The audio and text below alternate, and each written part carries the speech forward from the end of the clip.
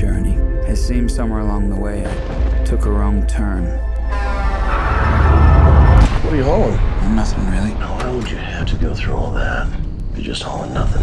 The girls, where are you taking Not your problem. I want to shut this thing down. How could you just leave us? You have to trust me. That word is broken for you. I'm gonna make this right.